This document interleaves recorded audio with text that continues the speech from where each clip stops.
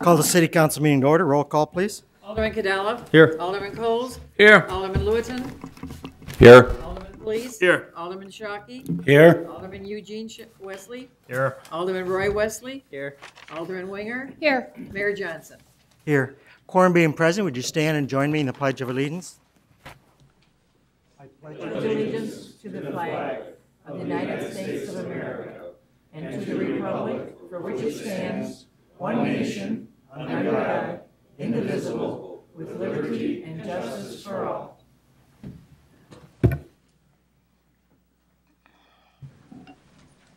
May I have a motion to approve the minutes of October 15th, 2009? There on on the second? Second. On the question? All in favor, say aye. Aye. Opposed? Motion carries. Two abstentions. Uh, Bills, Alderman Winger? Thank you, Mr. Mayor. I make a motion to approve a list of bills dated November 5, 2009 for $994,009.46. Is there a second? Second. On the question? Alderman Wesley? Mayor, I have a question. Let me find it here. On the uh, School Street project bill. Uh, As we know, we've been having a little concern, some problems out there. Um, I will, I will make the statement now that I will approve this, I will approve this bill. But keep in mind, there's some issues out there that needs to be concerned about, and I really don't want the council to spend any more money paying this company until those problems are resolved and we got our liquidated damage done on that property. What bill are you talking about, Alderman? I'm talking about MQ Construction and School Street, statement, page 12, for four- $147,030.81. And Mayor, may I follow up with another question? Alderman Wesley? Uh, The other question is the material testing for School Street for $5,423.50. Could someone tell me what those numbers were on the testing or produce a document? And, and was that the testing for the soil to see what the status of that was before we moved it? Page. I'm sorry, page 18?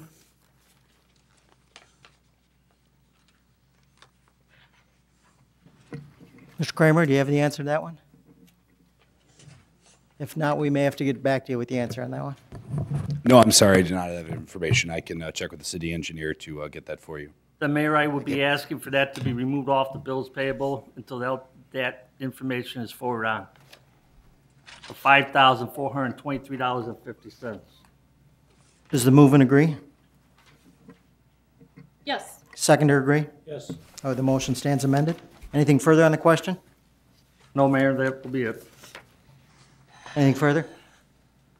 Roll call. Alderman Winger. Yes. Alderman Shockey. Yes. Alderman R. Wesley.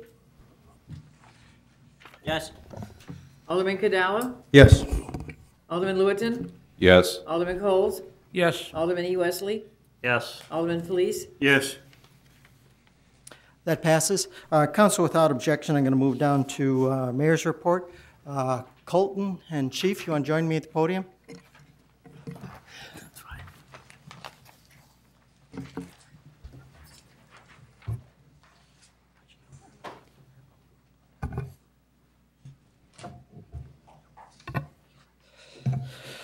Colton, sorry I missed your, uh, co- come on up.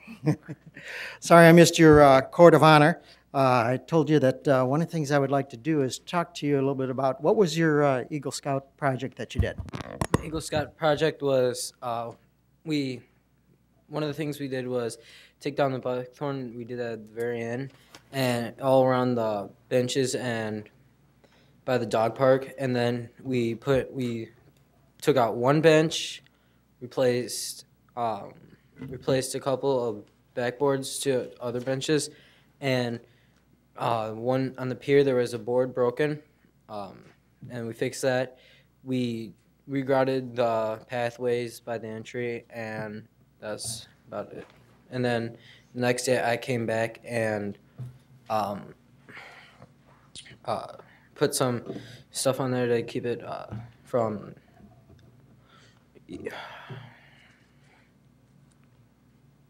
from riding away. And by the way, let's have the Scoutmaster come up and join us too as well.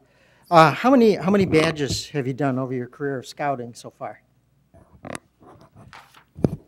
I've done maybe about 15 to 17.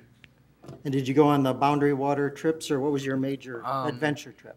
I went all the, on the adventure trips. I went on the two uh, canoeing trips, the two bike bicycling, and now on the Grand Canyon. Very good. We have two proclamations that we want to give you here today. One from myself, but the one that's more important is from the chief. Are you driving yet? No. When you drive, carry the chief's proclamation with you in your glove box at all times. You, you may have a need for that. You know, it's nice to pull that. Okay. Whereas the Boy Scouts of America is a vital force in the development of our youth uh, through its many programs which encourage the ability of its members to do things for themselves and especially for others. And whereas one of the major objectives in the scouting program is develop citizenship through community involvement, and in addition to working for citizenship merit badges, uh, scouts are encouraged to participate in community service projects.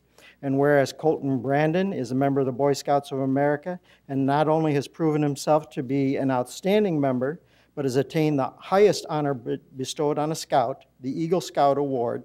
And whereas the Eagle Scout Award is a distinction that will follow him throughout life and will be a beacon to others of the leadership quality and commitment this young man has shown. Now, therefore, I, Mayor Kenneth P. Johnson, recognized Colton Brandon as worthy of the highest honor and encourage him to continue his commitment to excellence. In testimony whereof, I here set my hand and affix the seal of the city of Wood Dale this 23rd of October, 2009. Congratulations to you, Colton. One for you.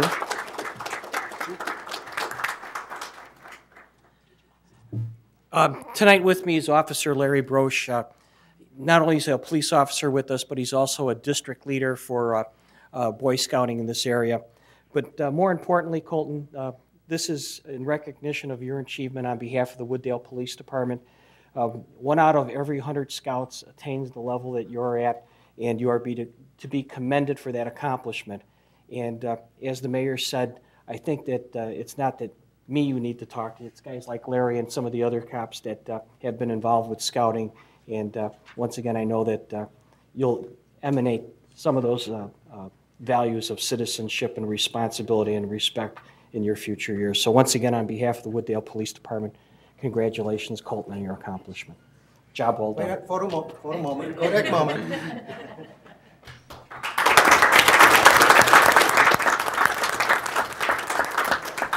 Uh, Colton, the council would like to express their congratulations. If you just walk in front of them, they'd like to shake your hand.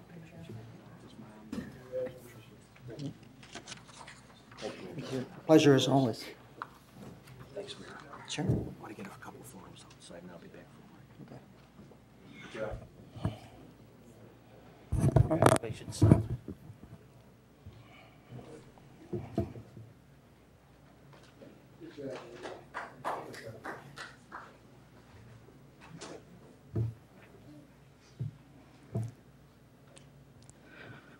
On a more somber note, uh, Alderman Winger, do you want to come and join me in uh, the Brick family? Would you come and join me, please?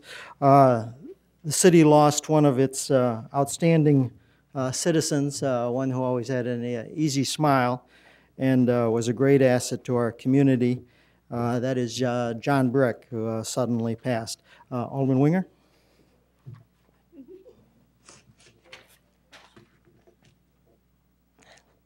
I am uh, very honored to present the resolution of gratitude for John.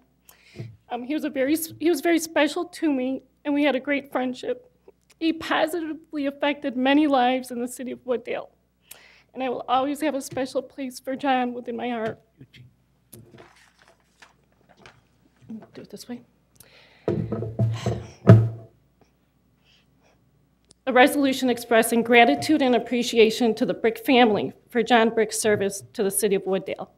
Whereas the city of Wood Dale values the service of its many volunteers serving on boards and commissions, and whereas John Brick was born in the city of Chicago but made the city of Wood Dale his home, and whereas John Brick served on various committees from 2001 until 2009, including the new post office committee, the streetscape committee, the Special Events Committee, as well as the Clean Air Counts Committee. And whereas John Brick was a dedicated and engaged Wood Dale citizen who developed friendships with many in the Wood Dale community. And whereas John Brick was proud to have worked for the DuPage Forest Preserve District for more than 20 years, including pride in participating in the efforts to clean up the pond near Maple Meadows Golf Club. And whereas John Brick was a very hard worker and found pleasure in the game of golf and was a likable fellow with an easy smile. And whereas the City of Wood Dale values the contributions of its volunteer citizens and encourages all Wood Dale residents to participate in the community to the extent possible. And whereas the mayor and the city of council of the City of Wood Dale desire to express to John Brick's family their gratitude for his spirit of volunteerism and dedicated service to the city. Now therefore, be it resolved by the City of Council of the City of Wood Dale, DuPage County, Illinois, Section 1, that by this resolution, the mayor and city council of the City of Wood Dale express to John Brick's family their gratitude for his dedication, expertise, and constructive service to the City of Wood Dale. Section 2, that a copy of this resolution be spread upon the minutes of the City Council of the City of Wood Dale, and that a signed copy of same be suitably framed and presented to the family of John Brick. Section 3, that this resolution shall be enforced and effect from and after its passage and approval in the manner provided by law. Mr. Mayor? Uh, We left off one section, and whereas John Brick was also known as Rambo. Alderman Winger, is that your motion? Yes. Alderman Shockey, is that your second? On the question? Roll call. Alderman Winger, Yes. Alderman Shockey, Yes. Alderman R. Wesley, Yes. Alderman Cadella, Yes. Alderman Lewitton, Yes. Alderman Coles, Yes. Alderman E. Wesley, Yes. Alderman Police. Yes. That passes Resolution R-09-18. With our respects and with our condolences, somebody can say a few words? Yes. Our thanks to you for sir. Thank you. Thank you.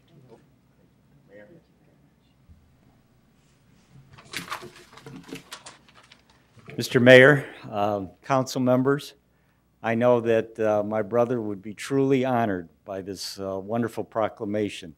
And on behalf of our family, we'd just like to thank you from the bottom of our hearts for everything that you guys have done for John. Thank you again. Council would like to thank you personally. Okay.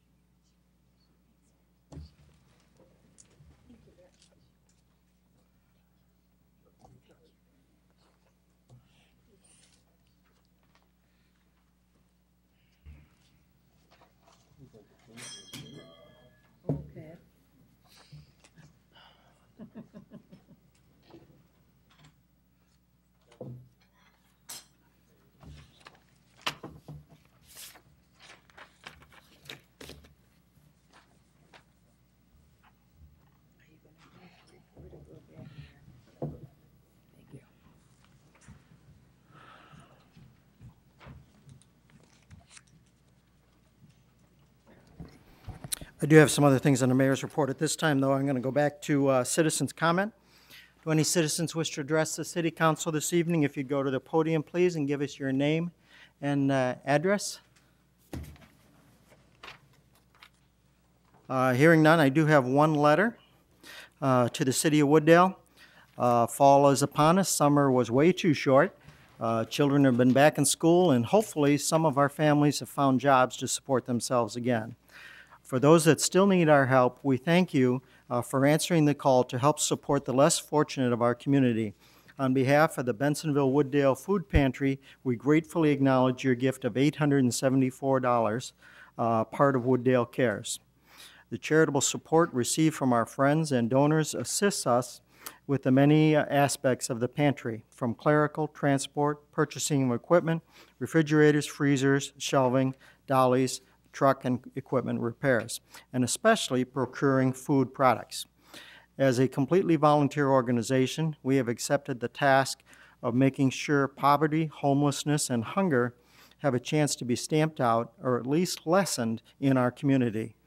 Uh, we refer the less fortunate to other organizations that can help with other problems besides lack of food. With the economy putting a strain on us all, uh, we cannot thank you enough for still choosing to give. Uh, Sincerely, the Bensenville Wooddale Food Pantry, Lou Notsky. And anyone who would want to donate to them, they did not give me a phone number on their letterhead. Uh, But they're based out of Peace Church, uh, 192 South Center Street in uh, Bensenville.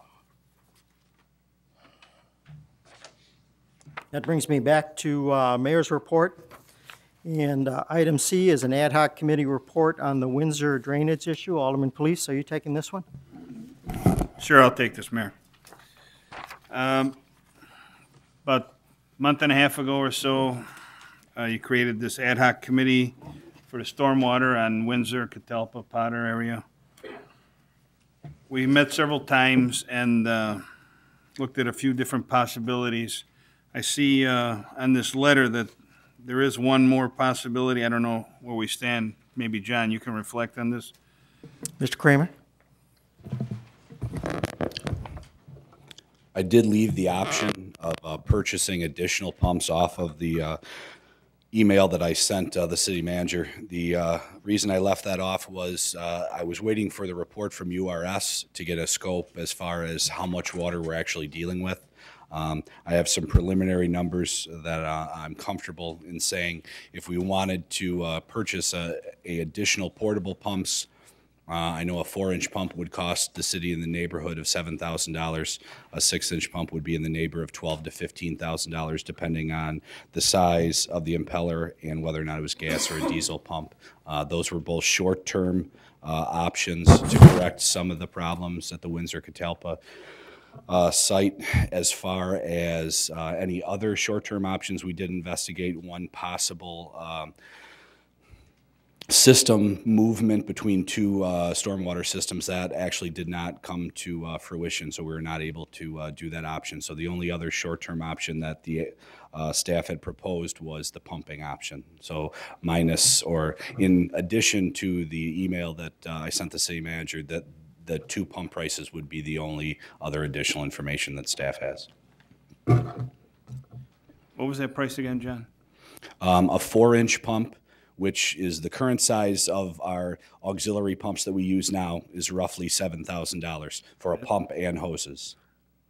And to go up to a six-inch pump, depending on the size of the impeller, which is going to say how much debris we can actually bring through the pump, and whether or not if it's a gas or diesel pump is going to be, you know, basically anywhere between twelve thousand and twenty thousand dollars. and It's it, it's a huge jump, and it really just depends on you know on what size we want to go with.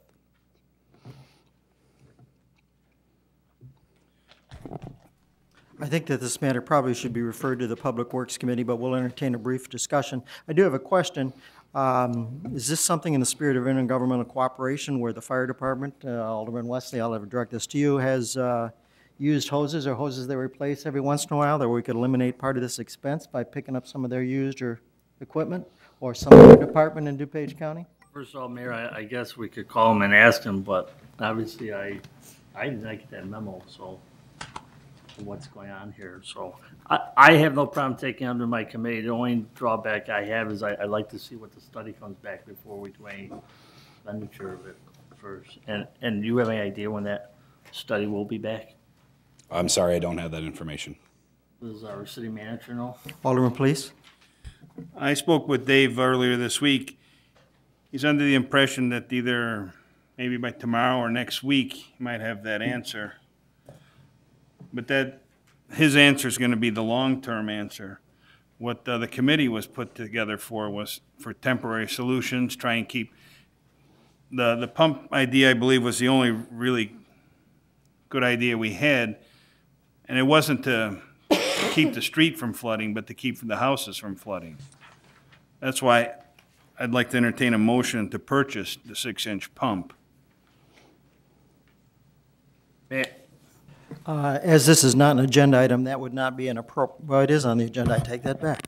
Um, Is there a second to the motion? I'll second. I'll second it. Alderman Wesley?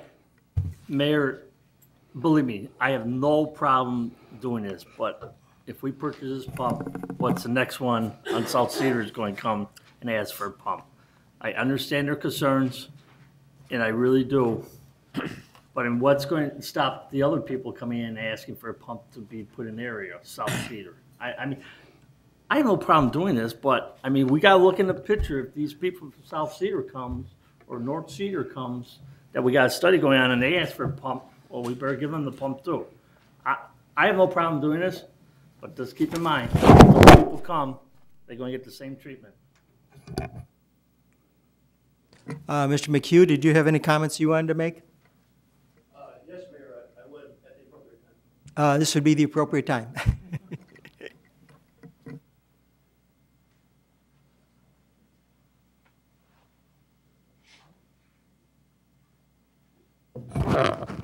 Uh, my name is uh, Jack McHugh at 288 Windsor Street in Wood Dale.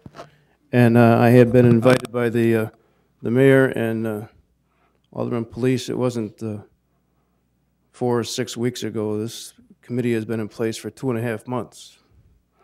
I've attended five or six meetings. Um, We, uh, we, uh, we did a lot of research. We looked at a lot of maps. And we, uh, we tended to not focus, and while I was in the meetings, I continued to try and bring the people that attended our committee meeting to the subject, to keep their eye on the ball. They had the, the eye on the ball. The ball was a short-term solution to the flooding on Windsor Street in Wood Dale.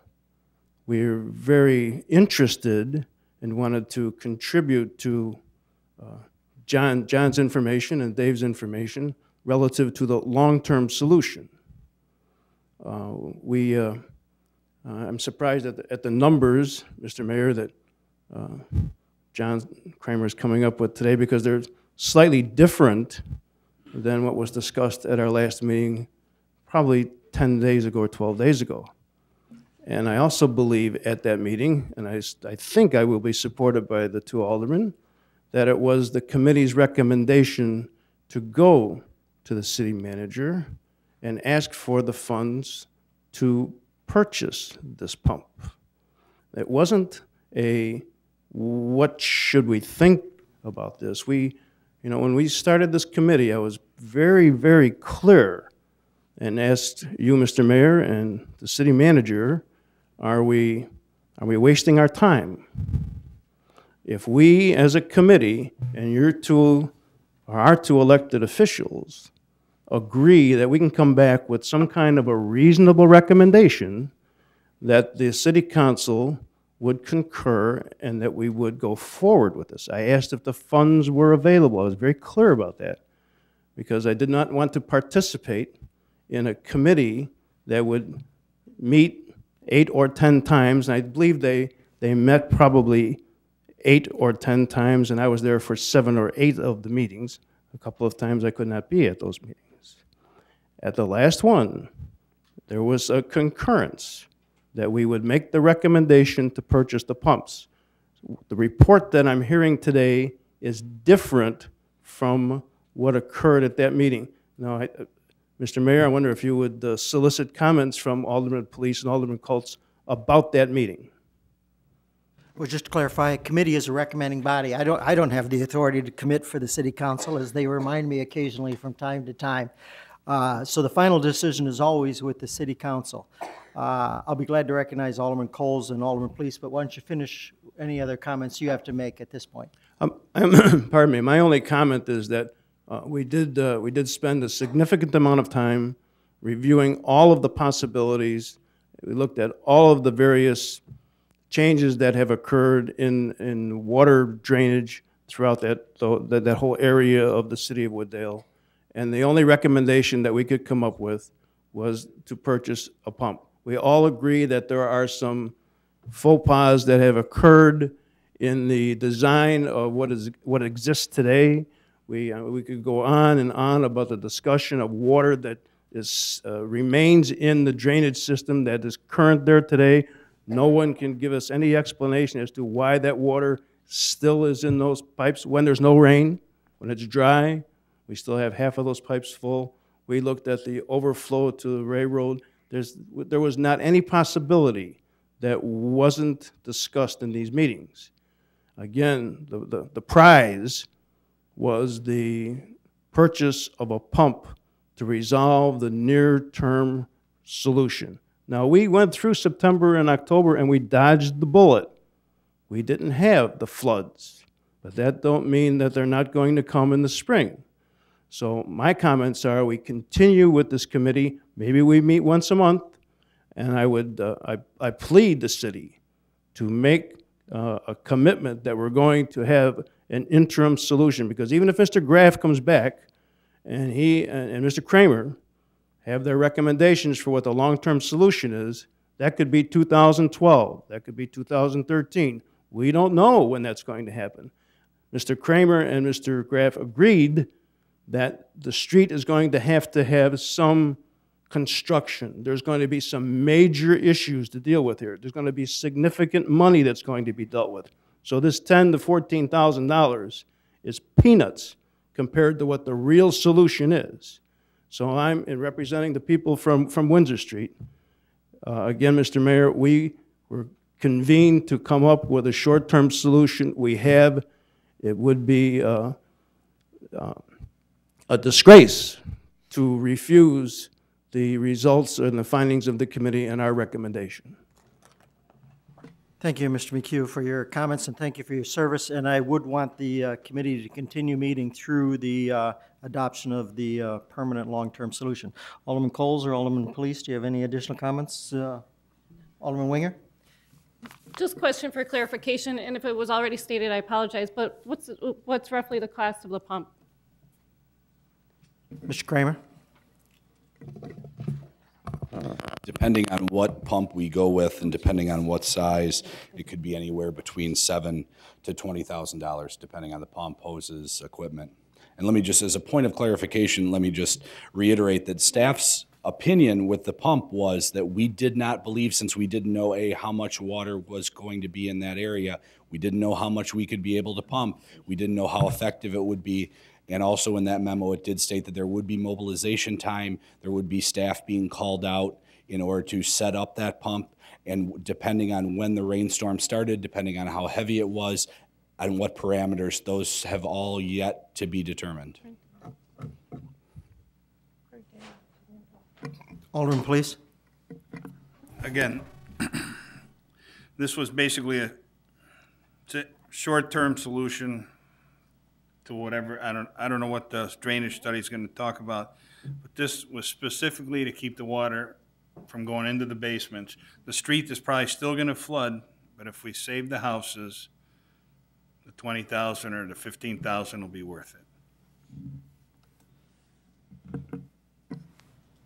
Alderman Wesley? Um, I guess this question is directed to the manager. When is the study done for South Cedar gonna be done? I mean, North, uh, South Cedar.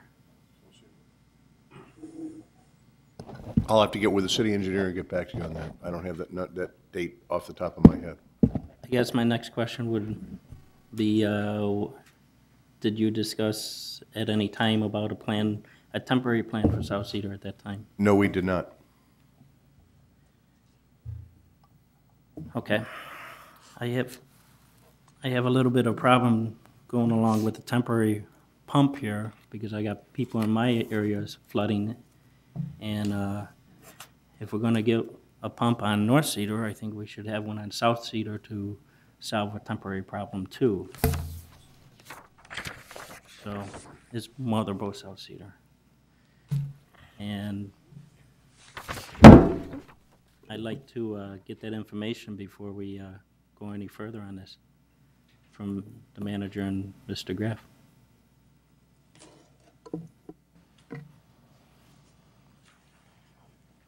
Alderman Norton. Uh, I'd like to just ask a point of information from John.